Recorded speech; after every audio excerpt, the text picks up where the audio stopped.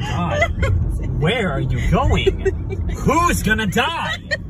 You already killed Jesus!